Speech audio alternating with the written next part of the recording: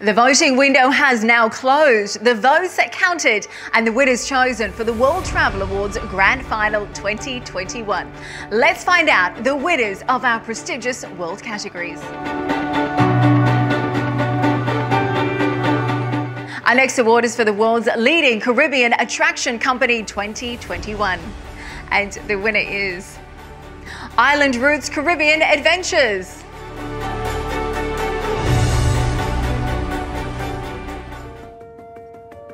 We are truly honored to be named the world's leading Caribbean attraction company 2021 for the 11th year. We pride ourselves not only delivering world-class experiences, but also consistently maintaining high level of service. And this year, despite its challenges, was no exception.